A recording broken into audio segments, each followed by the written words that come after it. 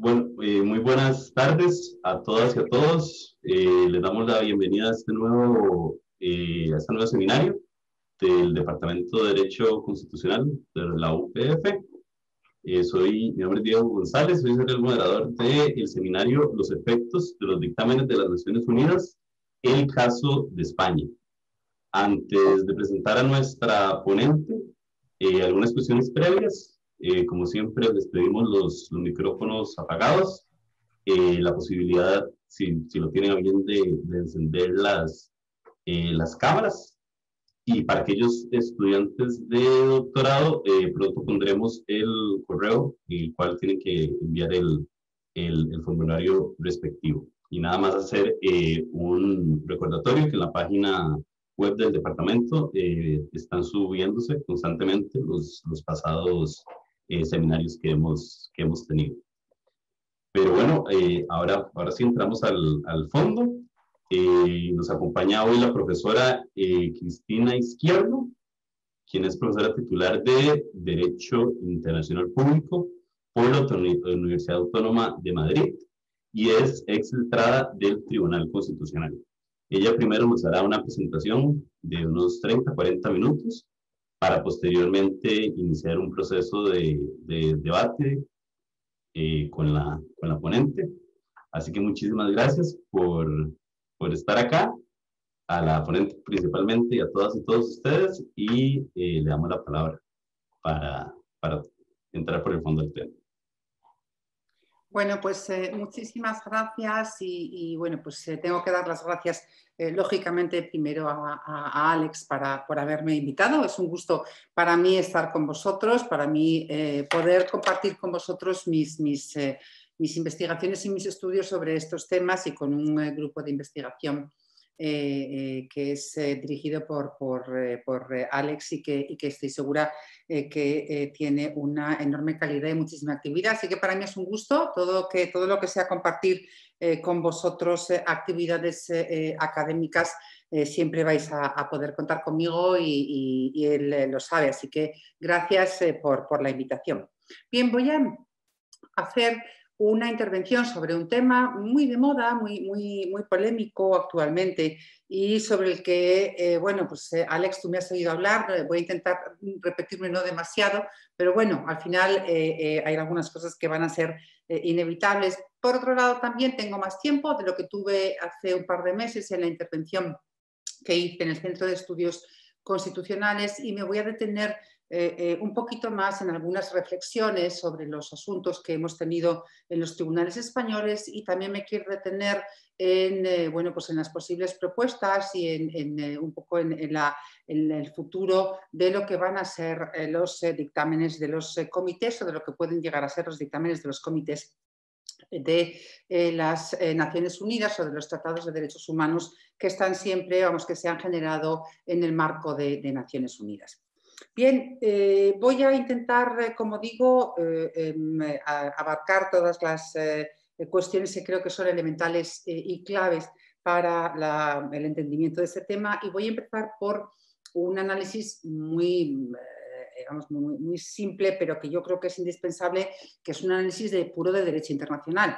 Y ese análisis puro de derecho internacional se refiere a las obligaciones del Estado derivadas de los tratados. ¿no? Entonces, yo cuando hablo de ese tema siempre empiezo por esto. ¿Por qué empiezo siempre por esto? Porque, claro, eh, cuando luego pasan las cosas que ocurren, como por ejemplo la sentencia famosa del Supremo de, la, de la mujer que habían asesinado a su hija, de la que luego hablaré, pues cuando se habla de eso, es decir, no, es que los pactos son obligatorios, entonces España está obligado, entonces se mezcla todo. Entonces yo quiero primero partir de un análisis de derecho internacional.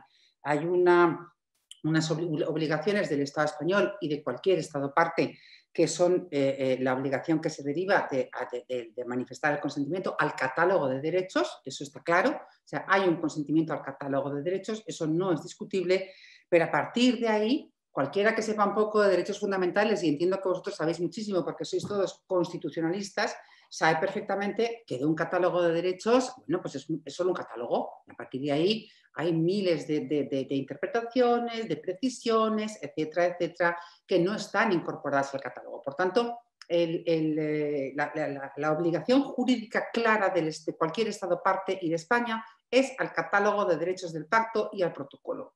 A partir de ahí, España se ha obligado a una segunda cosa, está vinculada a una segunda cosa. España ha aceptado, por decirlo de alguna manera, eh, ciertas competencias del comité. De los comités, que los comités son los órganos de control que Naciones Unidas han, eh, impuesto para, se han, eh, han, creado para vigilar el cumplimiento de los tratados de derechos humanos. Han impuesto unos comités, obviamente porque nunca ha habido consentimiento ni consenso suficiente eh, para generar órganos jurisdiccionales. Si lo hubiera habido, los hubieran creado, pero no lo había. Es imposible que haya eh, en una organización multilateral de las dimensiones de Naciones Unidas, es imposible que haya acuerdo suficiente para crear órganos jurisdiccionales que controlen los tratados internacionales. Por tanto, eh, también es importante que sepamos que los comités son el sucedáneo que tienen Naciones Unidas para vigilar el cumplimiento de los pactos porque nunca ha llegado al consenso suficiente para crear órganos judiciales. Si hubiera llegado, por supuesto que estaríamos ante ellos. ¿De acuerdo? Es una organización universal y tiene los límites que tiene derivados del derecho internacional. El derecho internacional nos da de sí lo que nos da de sí. ¿De acuerdo? Y entonces eso es importante que lo sepamos. Entonces, los Estados parte y España ha aceptado la competencia del comité. Ha aceptado la competencia del comité a tres efectos, diría yo, pero son tres, no más. Y esos tres son los que tenemos que recordar desde una perspectiva de derecho internacional. El primero, muy básico y, que no es relevante hoy a efectos de nuestro interés, que es que todos los estados, la recepción de los informes de los estados, los estados se obligan a enviar informes cada ciertos años, cada cuatro años eh, como mínimo, pero a veces cada menos, si, si, la, si nos encontramos con que las, el, eh, bueno, pues que el, comité le, hace unas sugerencias y unas recomendaciones y le anima a que le, responda y le dé un poco un feedback del cumplimiento de esas sugerencias y recomendaciones en un periodo más breve de cuatro años. Entonces, pues bueno, pues ahí nos encontramos con que el, eh, el, Estado puede tener que hacer informes con más frecuencia, pero en todo caso son eh, eh, informes estatales y la organización internacional se relaciona con el Estado. Bien. El segundo, el segundo, de los elementos que ha aceptado España y los Estados parte en relación con la competencia del comité es la cooperación con él. Este, este elemento de cooperar con el comité del artículo 37 del Pacto de Derechos Humanos, este me gusta y este, este quisiera que lo, que lo retuvierais un poquito más. Es decir, España se obliga a, emitir informes y España se obliga a cooperar con el comité. Por tanto, es cierto que luego vamos a ver cómo el comité no tiene, pues, elabora dictámenes que tenemos clarísimo todos que no tienen efectos jurídicos y que no son vinculantes, pero sí es importante que sepamos que España tiene una obligación de cooperación con el comité, con lo que el comité diga y haga. Tampoco puede eh, dar la espalda porque ese artículo 37 existe. Y luego España se compromete, y este es el, meollo de la cuestión, a eh, permitir que el comité reciba comunicaciones individuales. Aquí tenemos el meollo de la cuestión. pero se compromete solo a eso, no nos eh, equivoquemos, se compromete a permitir que reciba acepta la competencia del comité para conocer de esas comunicaciones eh, individuales. Eh, eh, la comunicación individual es un mecanismo de control, uno más, para el cumplimiento de los tratados de derechos humanos, como decía antes, y ese mecanismo de control, bueno, pues es, más moderno y más eficaz que, que los informes de los estados que hemos visto en primer lugar, lógicamente. ¿Por qué? Porque ya relaciona el, organismo internacional, que en este caso es el, el Tratado Internacional y el organismo internacional, con el ciudadano. No lo relaciona con el Estado, sino con el ciudadano, que es directamente titular de los derechos y víctima en su caso de las vulneraciones. ¿no?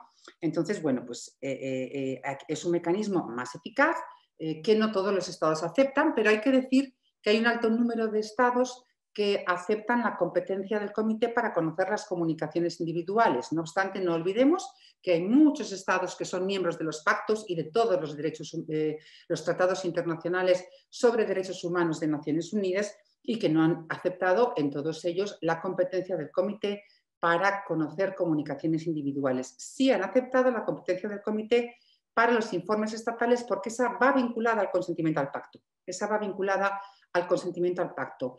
Y la obligación de cooperación con el comité también va vinculada al consentimiento al propio pacto. ¿De acuerdo? Por tanto, una vez que se consiente al pacto, se consiente al catálogo, se consiente a los informes, eh, eh, se obliga a los informes estatales y se obliga a eh, la cooperación con el comité para que el comité pueda cumplir su función. ¿Cuál es la función del comité?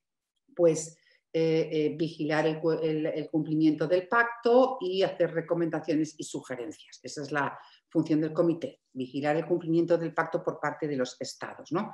Pero no le han dado nada más, no le han dado más mecanismos, ¿de acuerdo? Al comité no le han dado más mecanismos. Y esto es importante porque esto luego sale en las sentencias del Tribunal Supremo, que dice el Tribunal Supremo, es que yo no veo mecanismos, es que el pacto no me dice nada más. Claro, no me dice nada más porque el Estado no ha querido y porque el sistema no lo tiene. Bien, eh, en relación con las comunicaciones individuales, eh, voy a añadir algunos em, elementos más que eh, me parece que pueden pues ser, ser, útiles y es, bueno, por sobre todo para que, para que cierta información que creo que puede mm, ayudar también. La primera de ellas es la siguiente. Mm, mm, el sistema de las, de las, comunicaciones individuales lo tenemos en, las Naciones Unidas, a veces previsto en el propio tratado, en un artículo del tratado que incorpora el catálogo y también los mecanismos de control, y a veces previsto en un, en un em, protocolo adicional. Mm, no tiene demasiada relevancia porque en realidad eh, no tiene demasiada relevancia por algo que, quiero señalar. Y es lo siguiente. Cuando está dispuesto establecido en otro, tratado internacional, como es un protocolo eh, adicional, necesitamos que el, Estado parte eh, de un segundo consentimiento a un segundo tratado. ¿De acuerdo?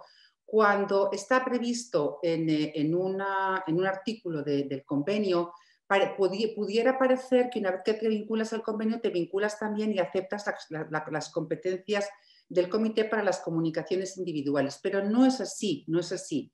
Eh, eh, los tratados en los cuales, que son unos cuantos, son tres concretamente, eh, la, competencia del comité para conocer las comunicaciones individuales se acepta en virtud del propio convenio o que lo que los crea son el Comité para la Discriminación Racial, el Comité contra la Tortura y el Comité para las Desapariciones Forzosas. No obstante, prevé que es necesario que el Estado, además del consentimiento al propio tratado, eh, además, eh, para que el comité adquiera competencia, requiere una declaración específica de, aceptar la competencia del comité. Por tanto, no hay una competencia automática del comité. Esto es lo que quiero decir nos va a dar igual que esté incorporado en un artículo, de, en un precepto del tratado que, tiene el catálogo o que esté en un protocolo adicional. Lo que, se, lo que veo, eh, o sea, lo que se ve, así lo estudias, es que la medida que han ido avanzando en el tiempo se ha hecho a través de protocolos adicionales para separar mejor eh, esta cuestión. Y a medida que los, son más antiguos, pues nos encontramos que se incorporaban eh, una, que las comunicaciones individuales como mecanismo de control se incorporaban en el propio tratado. La otra cuestión que quiero señalar en relación con las comunicaciones eh, eh, audiovisuales, las comunicaciones individuales, audiovisuales, me traiciona la, situación que, tenemos. bueno, pues la otra cuestión que quiero señalar es en relación con las polémicas medidas provisionales que los Estados miembros eh, mm, pueden recibir de, estos comités ¿no? y que han tenido eh, eh, alguna, algún protagonismo en los últimos tiempos y en España también con la cuestión de los Jordis. Entonces, las medidas cautelares o las medidas provisionales son una práctica que es verdad que también estaba incorporada y que no se había utilizado apenas, y son unas medidas que el comité puede solicitar al Estado parte una vez que recibe la comunicación individual. Una vez que, el comité recibe la comunicación individual, el comité lo que hace es admitirla y luego va a estudiarla. Una vez que la admite, eh, está previsto que pueda recomendar algún tipo de medida cautelar, medida provisional eh, a el Estado parte que ha sido denunciado por el particular o por el individuo. Estas medidas provisionales tienen los mismos rasgos de recomendación que tienen los dictámenes de los comités o las comunicaciones individuales, no tienen otra, ¿de acuerdo? Y han sido muy poco usados, salvo recientemente que han sido más utilizados. Eh, están igualmente previstas a veces en el protocolo adicional, a veces están previstas en los, en los, eh, en los propios tratados eh, de protección de derechos humanos, en los pactos. Mm, solamente hay un, hay, un tratado que no, que, no, que no las tiene. El Comité sobre la Eliminación de la Discriminación Racial no contempla la posibilidad de medidas provisionales, pero los demás las tienen. Este, este catálogo son ocho tratados, los dos pactos grandes de Naciones Unidas, y otros eh, seis más, y este no las tiene. Pero, insisto, estas medidas cautelares eh, eh, em, no son más que una manifestación más de una recomendación que el comité puede hacer una vez que va a tardar un tiempo en examinar el caso. Y quisiera añadir, y ya con esto acabo, digamos, desde una perspectiva de derecho internacional, que había algunos tratados que inicialmente no lo contemplaban, no contemplaban la posibilidad de que se pudiera solicitar una medida cautelar por parte del comité, se pudiera recomendar una medida cautelar. Yo aquí eh, rogaría que cuando, eh, cuando hablemos tengamos un lenguaje preciso. Entonces, la medida cautelar por parte del comité no se solicita, se recomienda, pero nada más. Entonces, eh, ha habido una modificación de los reglamentos internos de los comités para incorporar esas medidas cautelares. O sea, en los tratados en los que no estaba ni en el tratado ni en el protocolo adicional, se han modificado los reglamentos internos y el propio comité ha modificado su reglamento interno para ampliar sus propias competencias. Entonces, es importante porque todo esto nos va encaminando a la actividad de los comités. Yo acabaré eh, la intervención de hoy eh, diciendo, entre otras cosas, en las conclusiones que que tenemos que enfrentar este problema porque la actividad de los comités de Naciones Unidas mm, es imparable, es, completamente imparable, para bien y para mal. Todo en esta vida tiene su lado bueno y su lado malo, sus elementos negativos y positivos, y esto, desde luego, eh, yo tengo claro que es eh, imparable. A partir de aquí, eh, esta es la situación que tenemos desde una perspectiva jurídico internacional.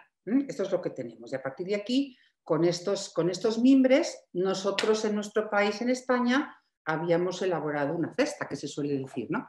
Y esa cesta era los pronunciamientos que nuestros tribunales tenían y nuestra, la relación que nuestros tribunales tenían en, relación con los dictámenes de esos comités. ¿Qué tribunales me importan? Pues sobre todo el Tribunal Supremo y el Tribunal Constitucional. Eh, antes de la famosa sentencia del 18, de la que luego hablaremos, los, los grandes tribunales, eh, los eh, altos tribunales que nosotros nos importan con los miembros que he contado del de, eh, ordenamiento jurídico internacional y las obligaciones de España, pues tenía muy claro lo que, lo que, lo que tenía que hacer con, esto. ¿no? Entonces, eh, bueno, pues, pues eh, yo cuento a través de, algunos casos, de un par de casos, lo, que, lo que se podía hacer con lo que, los pronunciamientos de nuestros tribunales. ¿no? Entonces, bueno, uno de, los casos, que este, este lo cuento, eh, este lo, conoce, lo, conté en mi última intervención eh, eh, y está, vamos, lo, traigo aquí porque es muy interesante porque es el mismo caso de la sentencia del 20. Entonces, este es el supuesto de, uno de los condenados en el caso Banesto, en el año que luego ha dado lugar a la última sentencia del 20, en el que el Tribunal Supremo ha dicho que un dictamen de un comité no se parece en nada a una sentencia del Tribunal Europeo de Derechos Humanos. Bien, este señor es condenado por un delito de apropiación indebida por el Tribunal Supremo en el año 2002, 18 años, casi 19 eh, podemos hacer. Acude al Comité de Derechos Humanos porque había sido absuelto por la Audiencia Nacional y es condenado por el Tribunal Supremo. Entonces no pudo apelar la condena, la sentencia condenatoria y acudió denunciando el eh, derecho a una segunda instancia penal, el derecho a los recursos en definitiva. ¿no? Eh, en el año 2002 España tenía un problema con la segunda instancia penal que superó en el año 2015 con una reforma que eh, hubo de la ley de enjuiciamiento criminal y Em, el problema que tenía España, que además el Tribunal Europeo nos lo ha dicho muchas veces, era que había muchas veces que, no, que, una sentencia condenatoria no se podía apelar. Eh, eh, ¿Se me oye bien? Porque estoy... ¿Se me oye bien? Ah, vale. Entonces, eh, no se podía apelar, sobre todo porque además cuando se apelaba ante Tribunal Supremo, ni siquiera el Tribunal de Estrasburgo consideraba que eso fuera una segunda instancia en, todos sus términos, porque como vosotros sabéis, el, recurso de casación en España no abre el pleito a prueba y en ese sentido, pues bueno, pues había limitaciones en la revisión de una condena. ¿no?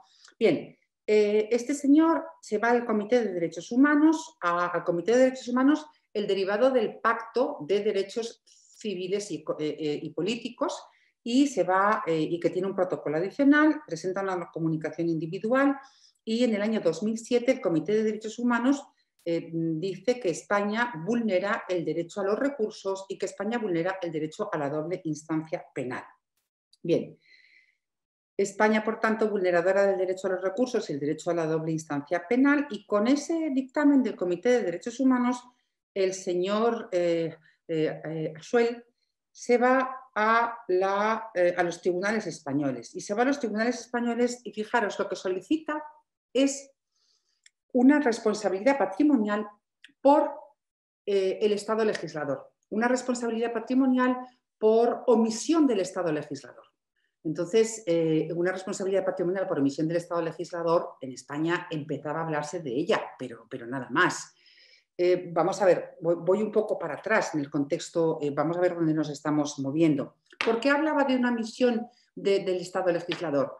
Porque él entendía que si el, legislador en España hubiera reformado la ley de enjuiciamiento criminal y hubiera establecido un derecho a la segunda instancia penal, pues no hubiera tenido este problema. Por tanto, la responsabilidad patrimonial no era de la Administración, no era judicial, como vosotros sabéis seguro, la responsabilidad patrimonial de la Administración está en la Constitución, la responsabilidad patrimonial del Estado juez también está en la Constitución, pero la responsabilidad patrimonial del Estado legislador no estaba en la Constitución y se incorporó después a través de la ley eh, de la eh, jurisdicción contenciosa administrativa y ahora eh, em, se, amplió.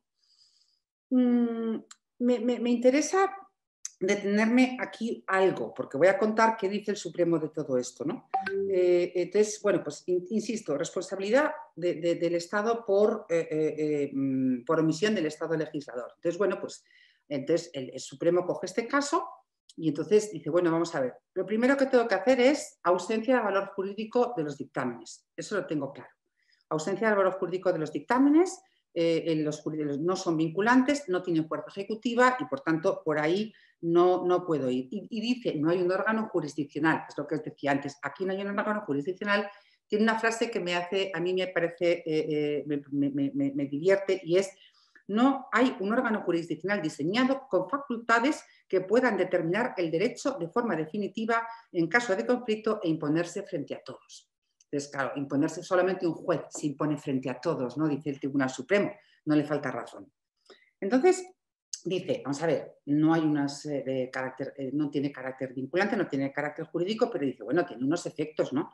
Entonces tiene unos efectos que los reconoce, aunque con cautelas. Entonces, bueno, pues saca el 10.2 y saca la, la, obligación de, interpretación, pero fijaros, aquí el Tribunal Supremo no solamente eh, saca, saca el 10.2 y, saca, y trae también al Tribunal Constitucional en esta misma sentencia y dice, Claro que el 10.2 es una obligación para, el órgano judicial para interpretar conforme a los pactos.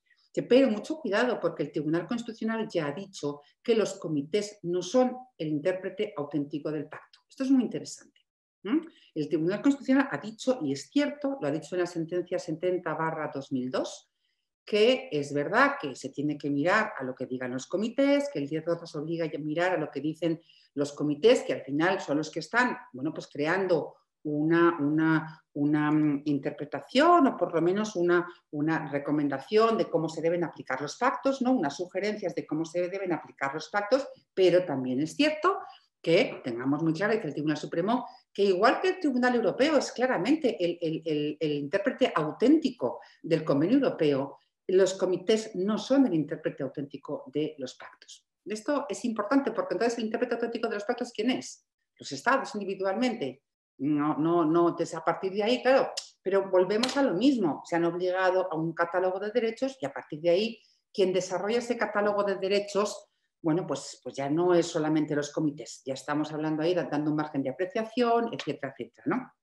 Para la interpretación y el alcance de los derechos.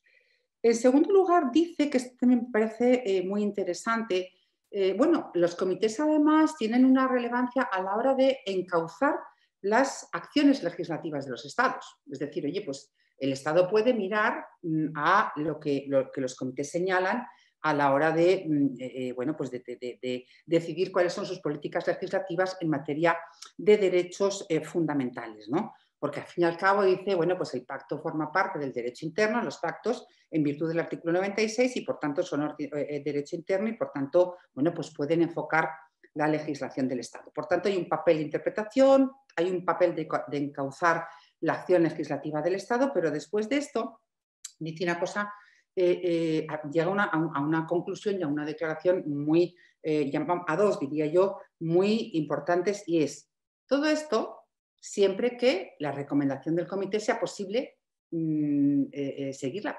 Y si no es posible seguirla, pues, pues bueno, pues, pues no es posible seguirla. Entonces aquí viene lo que yo os comentaba antes en, en relación con el orden internacional, las obligaciones del derecho internacional. Eh, si no es posible seguirla, y dice el Tribunal Supremo, como en este caso. Porque en este caso, ¿qué me dice el Comité de Derechos Humanos? Me dice, lleve usted al señor Hashuel a una segunda instancia superior para que le revise la apelación. Y dice el Tribunal Supremo, es que no tengo, es que en España no hay.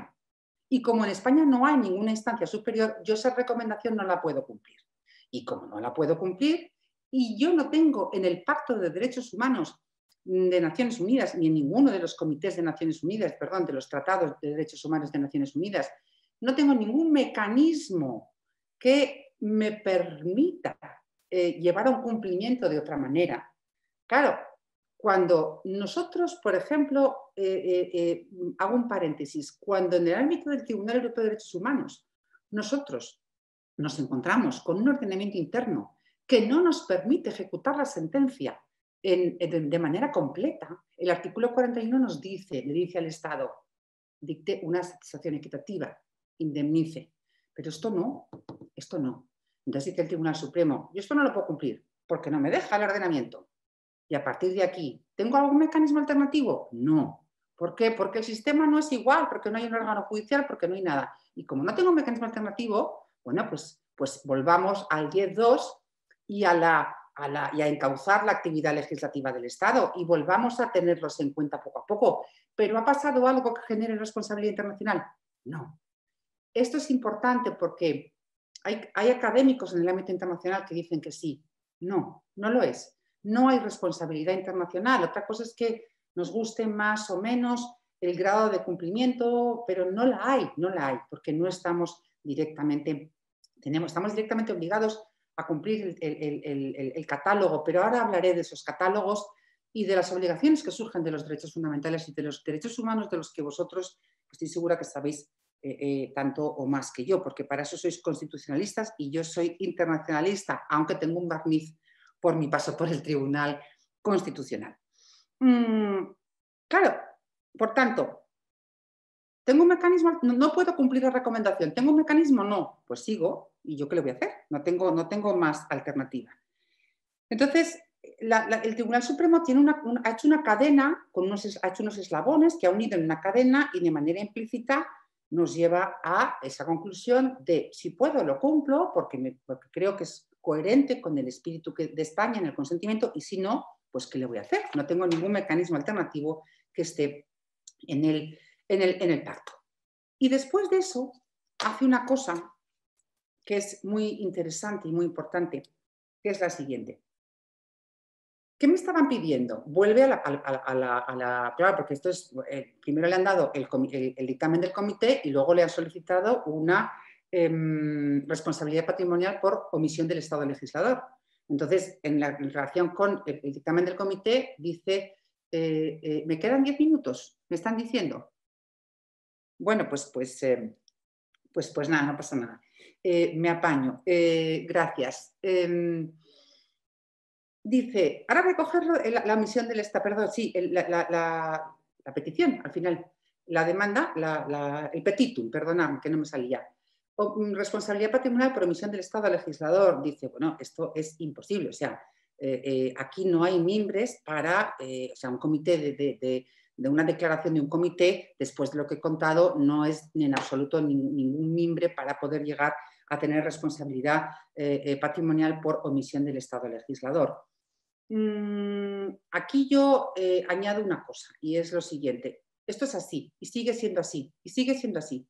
Ahora yo también digo una cosa, eh, si en el año 95, y, Alex estoy segura que, que, lo compartiría conmigo, mm, a mí me hubieran dicho que en España íbamos a poder reclamar responsabilidad patrimonial por omisión del Estado legislador por incumplimiento de la Unión Europea, hubiera dicho, de verdad, que hay gente que dice unos disparates tremendos. Yo lo hubiera dicho en el año 95. No, no, o sea, la, gente dice muchos disparates. O sea, hay que, hay que ser sensato, hay que tener rigor jurídico, hay que ser, eh, eh, em, bueno, pues estamos hablando de, derecho y por tanto esto, eh, esto, es esto, es de marcianos. Y en el año 2015 se incorporó y podemos reclamar responsabilidad patrimonial por omisión del Estado legislador. Entonces, bueno, pues esto es así, sigue siendo así, pero vayamos andando, andando en el tiempo.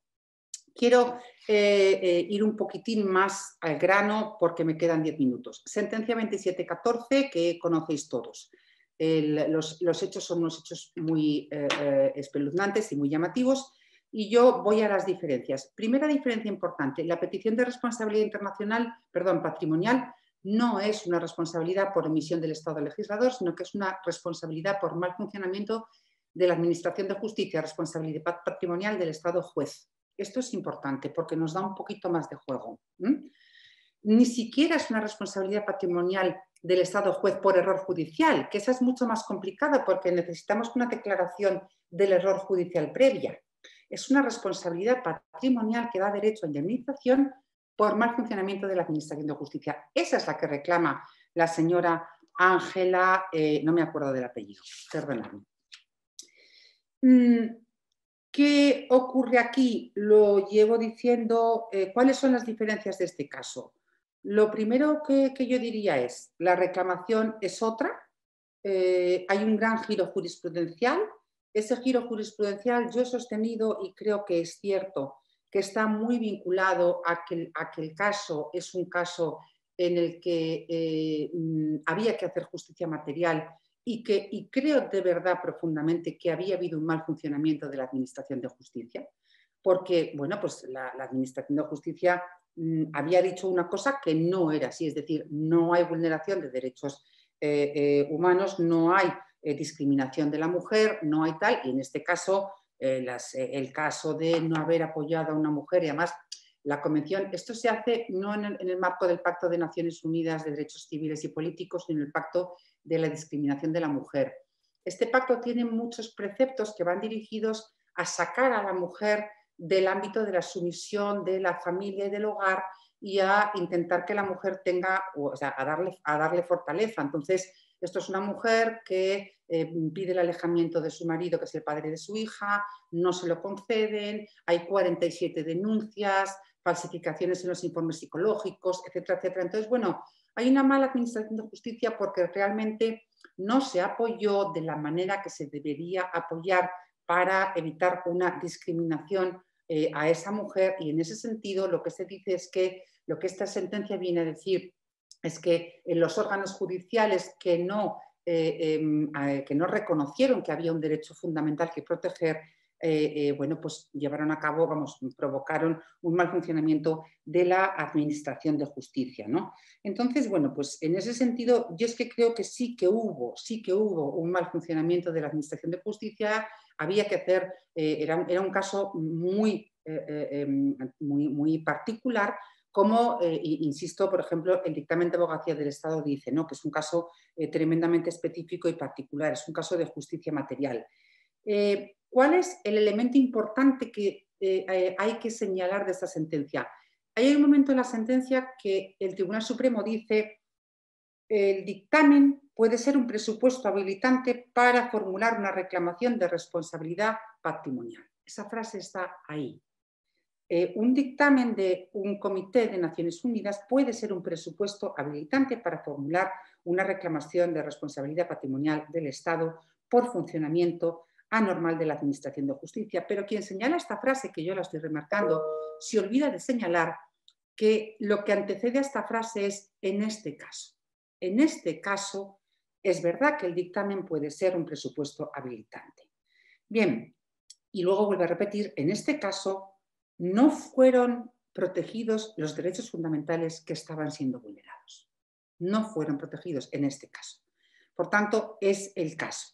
A partir de aquí, comentarios doctrinales, alboroto, etcétera, etcétera.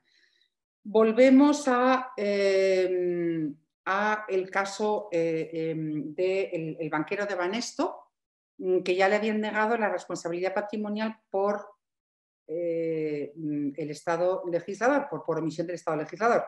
Conoce de este caso, entonces pide responsabilidad patrimonial eh, por un cauce de, perdón, por mal funcionamiento de la Administración.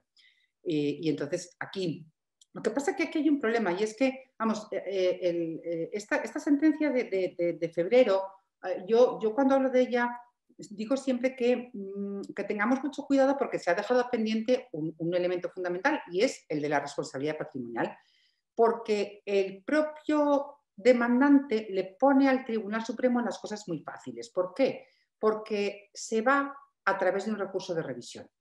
Se va a través de un recurso de revisión. Entonces se va a través de un recurso de revisión y entonces el Tribunal Supremo es muy fácil rechazar el motivo de revisión. Eh, eh, eh, al final, el Tribunal Supremo en el tema de la responsabilidad patrimonial no entra, no entra. En el tema de la responsabilidad patrimonial por mal funcionamiento de la Administración de Justicia, en su situación, no entra. ¿Por qué? Porque no le hace falta. Lo que dice es, el recurso de revisión se mete en el plazo, dice, tenía un plazo que, se le ha pasado, porque el dictamen del comité suyo es del año 2007, por mucho que usted haya conocido tal. Luego dice, el, hecho nuevo no, es tal, eh, porque eh, el dictamen es previo a la sentencia que usted quiere revisar, y luego dice, la sentencia, perdón, la vía de la revisión está abierta para las sentencias del Tribunal Europeo y esto no es una sentencia del Tribunal Europeo, pero no habla de la responsabilidad patrimonial. No habla, no lo necesita. Entonces, ¿qué quiero decir con esto? que la sentencia del 20 no cierra lo que ocurrió en la sentencia del 18 y que queda todavía mucho, yo creo que, por ver. ¿Por qué creo que queda mucho por ver? Mm, ¿Cuánto me queda? Nada.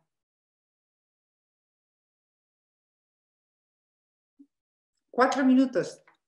Es que no, no veo. Disculpe, disculpe, unos eh, tres, cuatro minutos. Vale. Te voy a coger seis, ¿vale? ¿Estáis de acuerdo? es que ya, bueno, entonces eh, esto no lo cierra y yo eh, eh, lo, lo, retomo ahora. ¿Qué es lo que yo quiero ahora em, decir? Vamos a ver, situémonos donde los derechos fundamentales, ¿no? Mm, la, mayoría de las obligaciones internacionales de los estados que los estados asumen no son obligaciones que resulten directamente aplicables. Esto es así. Nuestra ley de tratados eh, dice que las obligaciones internacionales son directamente aplicables. Eso también es así. Pero sin perjuicio de que, lo, que dice que las presume directamente aplicables siempre que puedan serlo y que estén suficientemente desarrolladas. Pero el derecho internacional es un ordenamiento que por excelencia necesita de la cooperación del derecho interno para ser eficaz. Esto es importante. El derecho internacional necesita el derecho interno para ser eficaz porque llega hasta donde llega y cuando llega se encuentra con la soberanía del Estado. A partir de ahí, incorporemos aquí el elemento de que estamos tratando con derechos fundamentales y vosotros sabéis de esto mucho más, eh, eh, insisto, que yo. ¿Cuántas, o sea, ¿qué, ¿qué podemos decir de los derechos fundamentales? Podemos decir que son eh, directamente aplicables. El tribunal constitucional lo ha dicho muchas veces y lo dijo, por ejemplo, con la objeción de conciencia. Vamos a ver, es directamente aplicable su contenido esencial. A partir de ahí yo necesito al legislador. Eh, el contenido esencial del derecho fundamental, claro que es directamente aplicable, eso no, lo puede evitar. Pero tiene varias, varios pronunciamientos y hay mucho escrito sobre esto. A partir de aquí, los derechos son prestacionales, los derechos son de configuración legal, los derechos necesitan eh, del Estado para que el Estado, eh, son las obligaciones positivas del Estado que ha creado el Tribunal Europeo de Derechos Humanos ese concepto. ¿no? Entonces, vamos a unir los elementos, vamos a unir las obligaciones internacionales que son directamente aplicables, pero que, no, que pueden serlo, pero que no lo son habitualmente, los derechos humanos que no son normalmente directamente aplicables, sino que necesitan el legislador, la obligación internacional que también necesita del legislador para llegar a, ser eficaz. ¿no? Vamos a unir eh, eh, todo, todo, todo, esto. ¿no? Entonces, mm, lo que tenemos es que el contenido complejo de los, mm, de, los derechos enunciados en cualquier texto o catálogo de derechos eh, humanos pues hace que necesitemos eh, una, un complemento nacional, un complemento del Estado, tanto si es en la Constitución, pero, más si es en un texto o en un tratado internacional. ¿De acuerdo? O sea, la cooperación del derecho interno es indispensable. Por eso España se obliga a lo que se obliga. Entonces, a partir de aquí, otro elemento que tenemos que tener en cuenta que yo lo incorporo en los derechos fundamentales, en los derechos humanos, me da igual, es la interpretación evolutiva de esos derechos. Y de esto también eh, sabéis vosotros. Vamos a ver, eh, eh, la interpretación evolutiva se ha puesto muchísimo de relieve en Estrasburgo y en el artículo 8 del Convenio Europeo de Derechos Humanos ha entrado. Eh, los temas del ruido, el consentimiento informado de los médicos, el derecho al olvido, que tampoco existía, todo eso ha entrado en un artículo, esto no existía hace muchísimos años, y todo eso en una interpretación evolutiva de los derechos ha entrado en un artículo que se habla y se llama la vida privada, el derecho a la vida privada y familiar, creo. Entonces, todo esto son conjuntos, eh, eh, todos estos son eh, elementos y consideraciones que, bueno, pues que me parece que, que, dan lugar a problemas que son de máxima importancia y que no se pueden simplificar en eso es obligatorio y ya está y que se cumpla. No, esto es una cosa, esto es un proceso. Tenemos que diferenciar entre lo que es, es muy importante diferenciar entre los, lo que es en el ámbito de los derechos humanos especialmente, entre lo que es del eje ferenda y del eje lata, lo que existe y lo que es deseable. Vamos avanzando. Vamos a ir avanzando de la mano de eh, los mecanismos y, y, todo lo que nos ofrece, por supuesto, Estrasburgo, pero también los comités. Vamos a ir avanzando. Pero de ahí a que generen algo que pueda poner en peligro la responsabilidad internacional del Estado, yo creo que hay que tener mucho cuidado y hay que ser muy eh, cuidadoso y, y, ser muy respetuoso con la complejidad de los temas que estamos tratando. ¿no? A partir de ahí, yo diría, el legislador tiene que actuar. Tenemos un problema muy complicado y el legislador español tiene que actuar, el español y cualquier otro, pero el español es el que tenemos delante. ¿Por qué? Porque como el problema es muy complejo y la actividad de los comités no va a parar, nos estamos encontrando que el, resultado es, eh, bueno, pues eh, em, problemas importantes, los tribunales tienen situaciones muy complicadas que no saben solucionar y la jurisprudencia que tenemos es confusa, contradictoria. Ahora mismo hay una sentencia muy reciente de un tribunal, no sé si la conocéis, de un, de un juzgado de lo contencioso administrativo de Barcelona, que le ha dicho al Ayuntamiento de Barcelona, como consecuencia de un, vamos, con, causa en un comité, en un dictamen de un comité de, eh, Naciones Unidas, que, eh, em, que haga el favor de readmitir a un guardia eh, urbano, porque le había vulnerado eh, su derecho a la no discriminación porque le había jubilado, obligado a jubilarse forzosamente después de un accidente de trabajo, etc. Como no me quiero alargar, luego si queréis me preguntáis en el debate y os cuento esto. Entonces, ¿a dónde el legislador español tiene que avanzar? Tiene que avanzar, por supuesto, en el ámbito del desarrollo y la precisión de los derechos humanos y que eso lo, lo haga mirando muchas veces en los comités tiene que avanzar también en el ámbito de la responsabilidad patrimonial. Esto es difícil, pero es verdad que tiene que avanzar. Tiene que avanzar para que los órganos judiciales sepan en qué medida casuísticamente se puede alcanzar, cuáles son los requisitos, como ha pasado en el ámbito de la Unión, cuáles son los requisitos eh, casuísticamente para que un órgano judicial pueda llegar a, que un, dictamen de un comité sea un elemento más de prueba un posible eh, eh, eh, em, añadido para llegar a encontrar un funcionamiento anormal de la Administración de Justicia. Funcionamiento anormal de la Administración de Justicia, ¿por qué digo? Y aquí voy a decir un par de cosas y ya me callo. Porque como las quejas o las comunicaciones que se van a dar a los comités son unas comunicaciones que mm, van a exigir el agotamiento de los recursos internos, todo va a pasar por los tribunales nacionales y por tanto es muy fácil que encontremos una mala administración, un mal funcionamiento de la administración de justicia. ¿De acuerdo? Entonces, eso por un lado.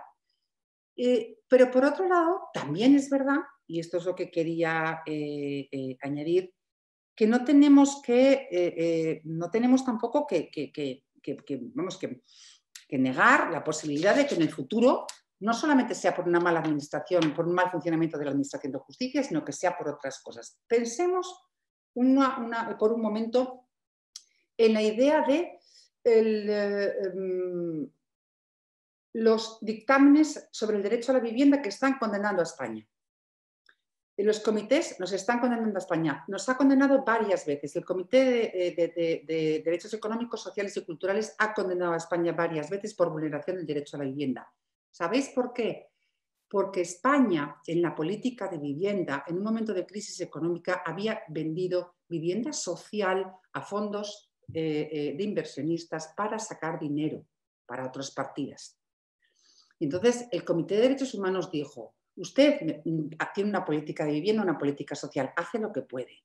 Pero si estos señores me han demostrado que cuando usted les negó una vivienda social, a la vez estaba vendiendo vivienda social que ya tenía construida, lo que yo aquí veo es que hay claramente una vulneración del derecho a la vivienda.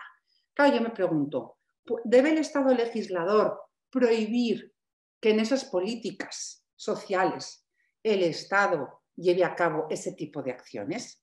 ¿Podríamos llegar a construir esto? Esto es, como yo diría, eh, eh, hace años, como lo que he hecho, es un poco eh, de marcianada, pero te quiero, quiero, decir, o sea, sí que tenemos que, o sea, esto tiene que afrontarlo España y tiene que afrontarlo el Estado y tiene que afrontarlo el Estado legislador, no lo puede afrontar nadie más. A partir de ahí tenemos que articular un sistema, un sistema que sea conforme con las obligaciones internacionales que tenemos y con las nacionales, ¿de acuerdo? Y en ese sentido creo que queda mucho por hacer, queda mucho por ver y creo que no debemos descartar eh, en absoluto, eh, sino lo contrario, sino que tenemos que hacer muchos eh, llamamientos a la actividad del Estado legislador. Y de hecho, y eso lo sabéis todos muy bien, mm, la reforma del año 2015 en relación con las sentencias del Tribunal Europeo de Derechos Humanos costó aproximadamente unos, unos, 20 años que se llevará a cabo por parte del legislador nacional. Disculpadme lo que me ha alargado y muchísimas gracias.